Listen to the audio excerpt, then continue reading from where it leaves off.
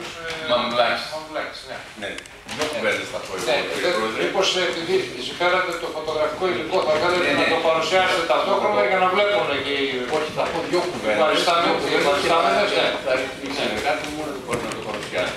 Καταρχήν, να σας ευχαριστήσω κύριε Πρόεδρε, να ευχαριστήσω και όλους εσάς ε, που μας δεχτήκατε εδώ και βεβαίως με τη βοήθεια πάντα του, των βουλευτών μας, του κ. Κωνσταντινάκη, του κ. Βαρδάκη και του κ. Γουμενίδη, για να μπορέσουμε πραγματικά, και είναι ευτυχής η συγκυρία που βρίσκεται και το Εθνικό Συμβούλιο εδώ, τον κ. Γλέζο που τον άκουσα, τον θαύμασα προηγουμένως όλα αυτά που είπε. Είναι δηλαδή η κατάλληλη ημέρα για να παρουσιαστεί αυτό το πράγμα. Αυτό που θα δείτε θα σας συγκλονίσει.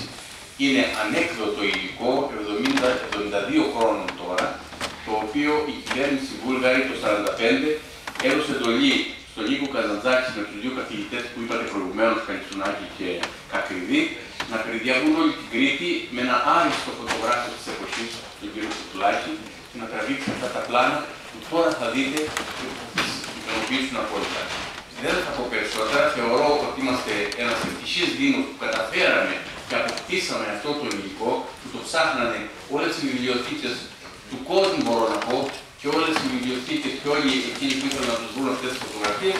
Και εμείς είμαστε ο Δήμος, ο τυχερός Δήμος που καταφέραμε και το αποκτήσαμε και το έχουμε στην ιδιοκτησία μας. Ε, θα δώσω λοιπόν το λόγο κατευθείαν, αφού για άλλη μια φορά σας ευχαριστήσω που εκφράσω τη χαρά μου και τη συγκίνησή μου που βρίσκομαι σε αυτή την αίθουσα. Σας ευχαριστώ πάρα πολύ και ευχαριστώ ιδιαίτερα τους βουλευτές μας, οι οποίοι μας βοήθησαν να φτάσουμε έως εδώ.